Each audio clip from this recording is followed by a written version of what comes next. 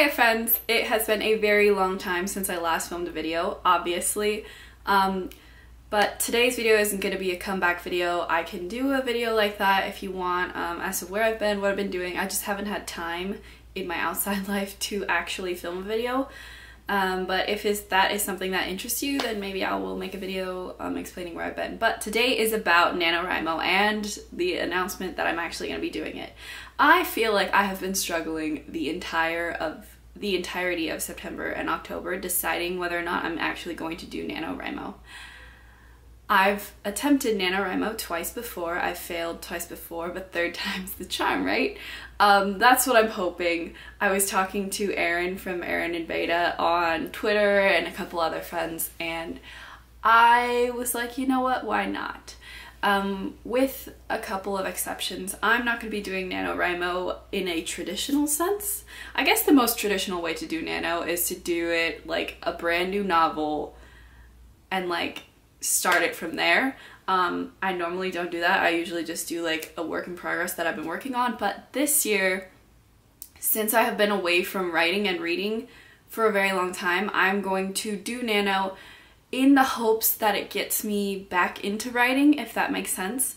Uh, I want to sort of just not commit myself to writing one thing. So if I so happen to feel like writing uh, my work in progress right now, then I'll I'll work on that. Um, but I also want to write other things like short stories and poems and just like get into other parts of writing as well. I, I just don't want to limit myself to one thing. So if you add me as a writing buddy on NaNoWriMo, you will see that it says Maven Aura and um, other works, meaning I'm going to be writing my main work in progress titled named after my main character and then also um, other works that I just feel like doing um, so that I can aim to get myself back into writing. Not necessarily that I want to hit those 50,000 words, which I actually do, but I'm hoping that I can just sit down every day and get used to writing whatever it is. That being said, if you're also doing NaNoWriMo and you haven't already added me, which a few of you have, um, add me as a writing buddy or leave your NaNoWriMo name in the comments below and I will go in and add you as a writing buddy. That's if you want me as a writing buddy. Um, I am not going to be doing daily vlogs on NaNoWriMo because I felt like that put me, I don't know, I might, actually, I might. I probably won't though because that just like took extra time out of my day to like document my progress when I feel like it would have been more productive to just actually do NaNoWriMo. So I will be um, more active on the forums or like word sprints, stuff like that.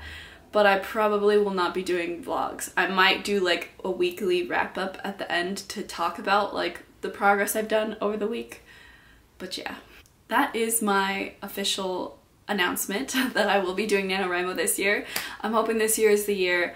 I'm really optimistic. I'm a very busy person right now, but I feel like I'm in the right place to have time to actually do it.